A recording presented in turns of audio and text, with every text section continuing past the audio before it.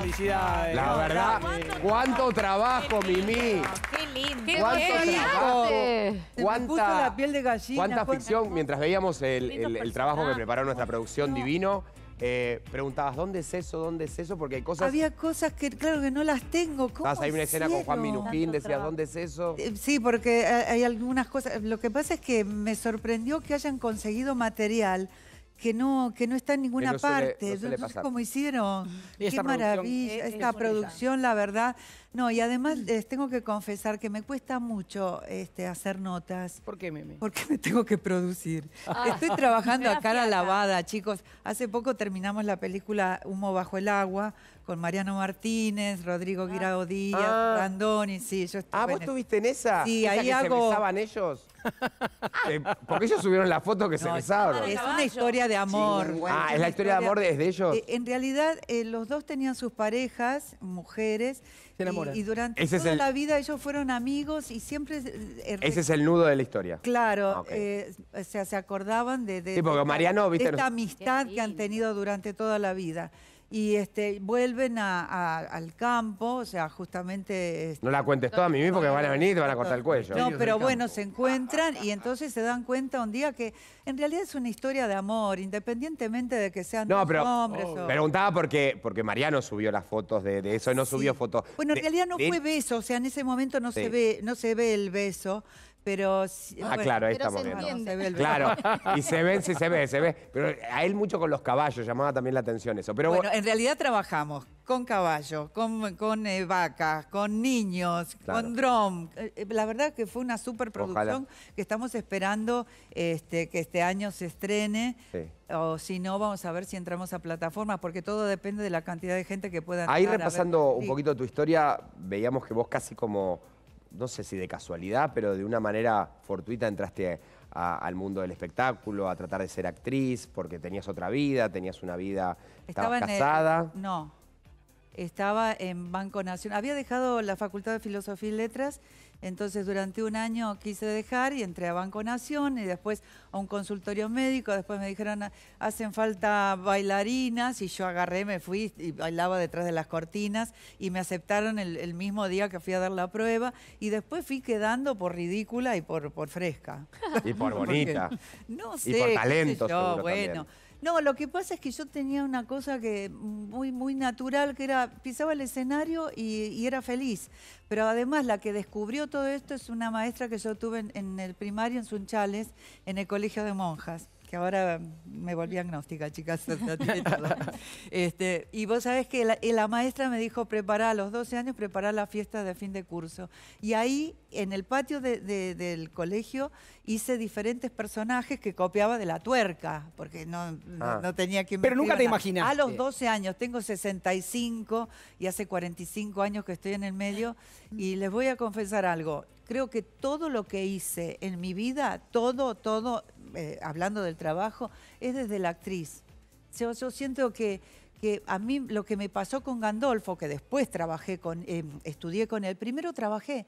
Entonces cuando ahora recuerdo frases que me, o preguntas que me hacían, ¿nunca hiciste un curso? No. Pero nunca hiciste un Intuitiva. seminario o algo. No, no estudiaste. ¿Vos me estás, me estás diciendo la verdad? Sí, Carlos. Y después, bueno, fue como un padre para mí, porque fue este, mi guía, fue la persona que me dijo que tenía que hacer terapia, porque me vio muy mal.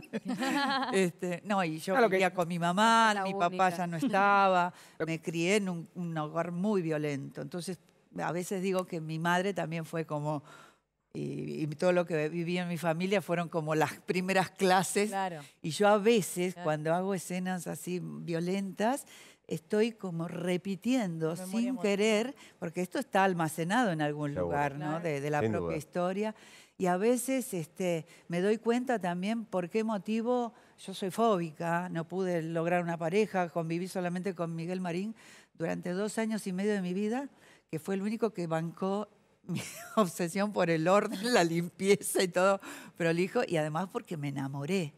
Y fue con la única persona que quise tener un hijo. Entonces, viste, después con- cuando te empieza a pasar toda la historia, te das cuenta que todo eso que hoy me sucede tiene la raíz allá atrás. Claro. Y a mí, por ejemplo, la pandemia, sí, obviamente que afecta porque no querés enfermarte, porque mucha gente sufre y se muere, pero estar sola y encerrada para mí no, no es ningún sacrificio. Este, tengo amigas, pero eh, no, no soy de grupos. Lo que te quería preguntar, digo, cuando hablabas de esto de empezar como bailarina y demás, ¿no te hubieras imaginado, por ejemplo, que ibas a ser un García Lorca, que ibas a tener la oportunidad de hacer tantas cosas, digamos, y, y después todo lo que te pasó es más de lo que esperabas? ¿O sentís que la vida fue justa No, con porque vos? yo, no, yo nunca eh, le piso la cabeza a la que está al lado, ¿me entendés? O sea, siempre todo lo que me pasó fluyó porque yo era feliz haciendo lo ¿A vos que te quisieron pisar mucho la cabeza? Sí, me han hecho hasta, hasta han ido a brujos a hacerme trabajo justo a mí que no creo en nada, o sea, olvidar. Famosas, mujeres famosas del mundo del espectáculo que... No, gente, sí, qué sé yo. Bueno, si vos yo no le pisé nunca la cabeza a nadie, pero di- cuando te preguntamos, eh, sí, a mí sí, Sí, me han querido sí. cortar los caminos, me, han querido... cortar los caminos. O sea, el tema, por ejemplo, que a ustedes les debe pasar, porque el tema de estar en, en televisión a veces es tremendo porque produce odios, ¿viste? Este tema del éxito, del rating, que te va bien. Cuando te va bien, a veces estar también, esto, esto, todos los personajes y ver el currículum y digo, bueno, evidentemente a alguien le, le produce cierto escosor. Es- no sé si es envidia, no sé cómo llamarlo, la verdad, porque a mí no me pasa, pero todo eso produce algo tremendo. Entonces, ¿cómo te piso? Te- trato de denostarte.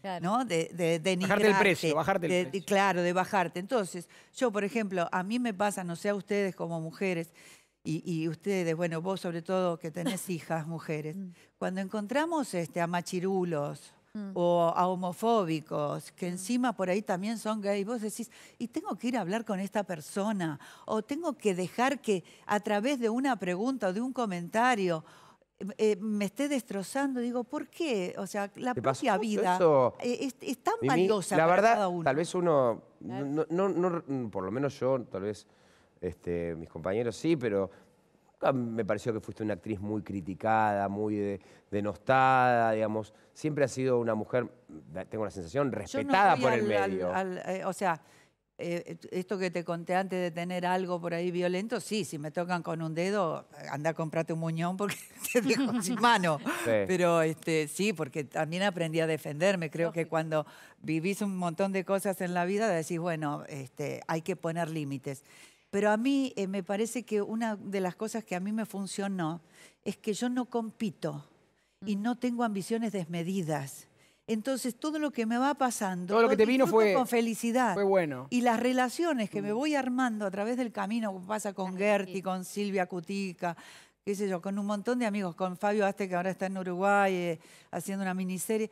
eh, o sea, me, me pasa y fluye desde, desde el amor. Entonces, cuando no con trabajás- Corlero, por ejemplo, que somos muy amigos y Y cuando no trabajás, ¿sufrís la falta de laburo? Más allá de lo económico, de lo que te, lo que, lo que te haga falta, digo, la abstinencia de trabajo que el actor la tiene tan inestable la Sí. vida, ¿no? No, yo disfruto también de Sí. las cosas que, que me pasan. Por ejemplo, Sagay se portó muy bien eh, porque nos preguntó a todos los actores si necesitábamos algo. Pero yo a veces digo, eh, una de las cosas que aprendí de mi madre es a ahorrar. Yo no, no tengo coche, nunca lo tuve, vivo en un ambiente, tres pisos por escalera, o sea, no soy una mujer que, que voy a, viste, gano dinero y a los dos minutos me hago un viaje, Sí, qué sí. sé yo, y, y no sé, y me gasto todo. ¿Y no te Entonces, arrepentís de eso? Porque tal vez en un momento decís... muy- no, pero soy muy austera justamente Porque sabés de esa inestabilidad. Cómo vienen las cosas. Entonces, por ejemplo, cuando me, me- me tocó hacer campanas en la noche, yo me tomaba dos subtes y eh, dos, eh, el tren y después llegaba a Martínez y me tomaba un taxi.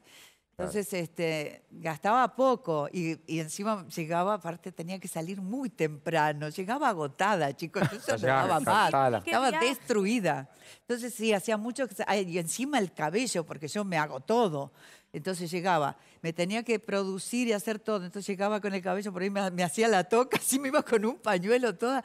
Y bueno, pero me tomaba a las 5 de la mañana el, y- el subte. Y una de las cosas